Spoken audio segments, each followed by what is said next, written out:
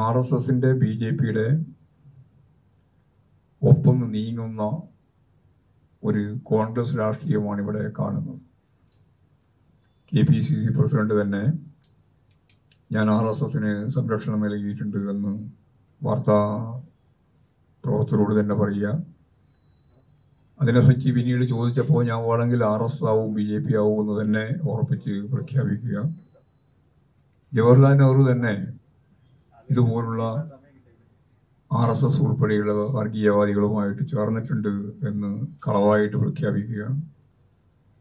ജവഹർലാൽ നെഹ്റുവിനെ എല്ലാവർക്കും അറിയാം. ജവഹർലാൽ നെഹ്റു ഭൗതികവാദ നിലപാട് സ്വീകരിച്ച ഒരു ഭരണാധികാരിയാണ് എഴുത്തുകാരനാണ് ചരിത്രകാരനാണ് എല്ലാം.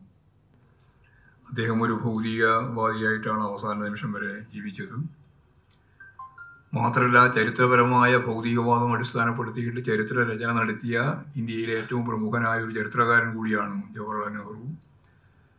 ഇന്ത്യയെ കണ്ടെത്തലും വിശ്വചരിത്രാവലോകവും വായിച്ചാൽ എല്ലാവർക്കും ഇത് മനസ്സിലാക്കാൻ സാധിക്കുന്നതാണ്. പക്ഷേ ഇതൊന്നും ഇല്ലാതെ ഒരു പിൻബലമില്ലാതെ ജവഹർലാൽ നെഹ്റു ആർ എസുമായിട്ട് ചേർന്ന് പ്രവർത്തിച്ചിട്ടുണ്ട് എന്ന തികച്ചും തെറ്റായ വിശകലനമാണ് K P C C president നടത്തിയത്.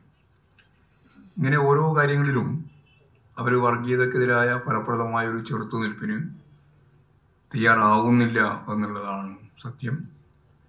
കേന്ദ്ര ഏജൻസികളെ ഇപ്പം ഏറ്റവും അവസാനം കേന്ദ്ര ഏജൻസികളും പോലീസും എല്ലാം സോണിയാഗാന്ധിക്കെതിരായിട്ടും രാഹുൽ ഗാന്ധിക്കെതിരായിട്ടെല്ലാം വരുമ്പോൾ പോലും പൊതുവായിട്ട് ആ നിലപാടിനെ കേന്ദ്ര ഏജൻസികളുടെ സമീപനത്തെ എതിർക്കാൻ അവർക്കാവുന്നില്ല കാരണം കേരളം അതിന്റെ ഭാഗമായിട്ട് വരുമ്പോൾ കേരളത്തിൽ ചെയ്യുന്നതെല്ലാം ശരിയും.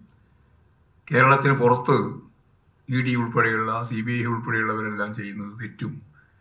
എന്ന് പറഞ്ഞാൽ തികച്ചും രാഷ്ട്രീയമാണ്. കമ്മ്യൂണിസ്റ്റ് വിരുദ്ധ രാഷ്ട്രീയത്തിന്റെ ഒരു നിലപാടാണ് ഇവർ സ്വീകരിച്ചുകൊണ്ടിരിക്കുന്നത്. രാജ്യത്തിന്റെ ഭാവിയും ജനങ്ങളുടെ ജീവിതം മെച്ചപ്പെടുത്താൻ വേണ്ടിയുള്ള പ്രവർത്തനങ്ങളൊന്നും അവരെ ബാധിക്കുന്ന കാര്യമായിട്ട് പരിഗണിക്കപ്പെടുന്നില്ല എന്നുള്ളതാണ് നമ്മുടെ മുമ്പിലുള്ള സ്ഥിതി. നിയമസഭ തന്നെ സംഘർഷാത്മകമായ ഒരു അവസ്ഥയിലേക്ക് നീക്കാനാണ് അവർ ശ്രമിക്കുന്നത്.